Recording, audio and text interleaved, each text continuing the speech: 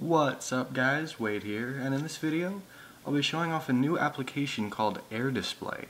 Um, the app is available in the App Store for around 10 bucks, and what it allows you to do is basically use your iPad as a second display on your computer. Um, right now this is only available for Mac users, um, but it will soon be available for Windows users as well. Um, so once you've bought the application, you will get an app that looks like this you open it up for the first time, it'll give you some instructions on how to install the software for your computer itself.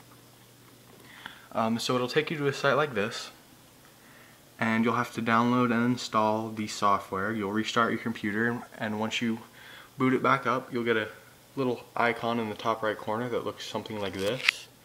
Um, and all you have to do is click on that icon, turn Air Display on, and it'll start searching for the iPad. Make sure that your iPad is on the same Wi-Fi connection that your computer is running on. And if it finds it, you'll see it up in the selections. Go ahead and click it. You'll see the screen will refresh. Your iPad will also refresh. You'll notice the snow leopard background on your iPad. And essentially what this application will allow you to do is anything you drag to the right side of the screen, so let's say the application Tweetie, if you drag it past the right side of the screen on your computer, it will go directly to your iPad screen. Right there. You also notice that you'll have a mouse here so you can still mess around with it on your iPad itself. Um, and as always, um, the iPad is touchscreen enabled, so you do have the option to use the touchscreen on the Mac, excuse me, on the display as well.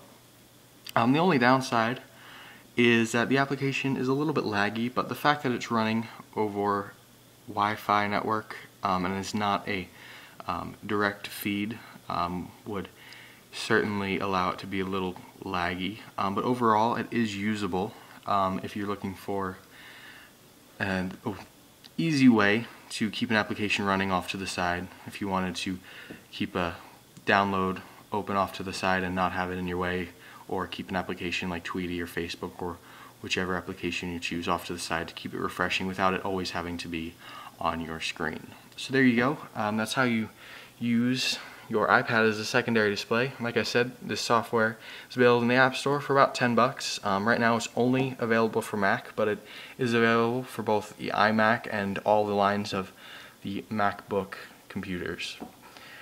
So if you have any questions, feel free to send me a message or post a comment, or you're more than welcome to visit their website with information on their different products. I'll have a links to their website off in the video description if you would like to check that out. And I will see you guys in the next video.